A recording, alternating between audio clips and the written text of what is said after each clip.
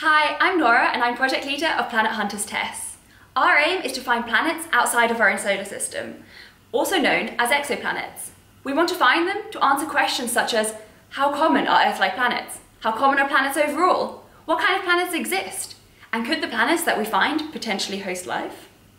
Answering some of these questions not only helps us understand the universe as a whole, but lets us answer questions such as how the Earth formed and what will happen to it in the future. So how do we find exoplanets? On Planet Hunters TESS, we use a method known as the transit method, which I'm going to illustrate using this lamp. So let's imagine that this lamp is a star and that this rock is a planet orbiting around it. When this planet passes between you and the star, it blocks out some of that light emitted by the star. So if we monitor the brightness of the star over time, we will see decreases in brightness every time that the planet passes between you and the star.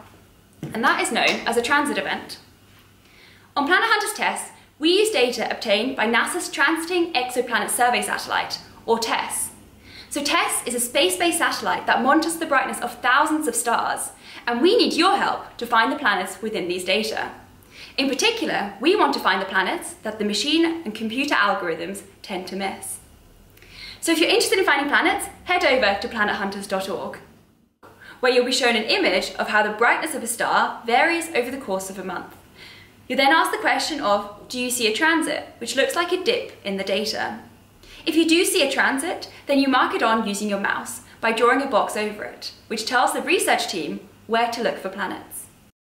If you're interested in looking for planets, head over to planethunters.org to see what you can find. Happy planet hunting!